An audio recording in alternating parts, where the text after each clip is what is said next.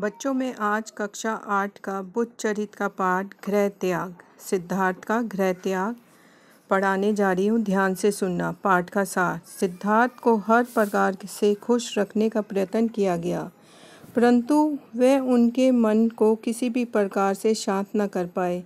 अंत में सिद्धार्थ ने मन में शांति प्राप्ति के लिए वन की ओर प्रस्थान करना ही उचित समझा। वह रात में चुपचाप उठे और छंदक को जगाकर लंबे सफ़र के लिए रथ तैयार करने की आज्ञा दी। महल छोड़ने से पहले वह उस कमरे के सामने रुके, जहाँ उनकी पत्नी यशोधरा और पुत्र राहुल सो रहे थे। अर्धरात्रि का समय था। गोरखपुर के पास, अनोमा नदी के पास जाकर सिद्धार्थ ने अपने सारे आभूषण उतारकर छंदक को दे दिए और छंदक को वापस महल जाने के लिए कहा। छंदक ने कहा, हे राजकुमार, कपिल वस्तु जाकर लोगों को क्या जवाब दूँगा? मुझे मेरी मंजिल मिल गई है। ऐसा कहकर सिद्धार्थ ने स्वर्ण जड़ित कृपान से अपने केश काटे और मुकुट उतार दिया।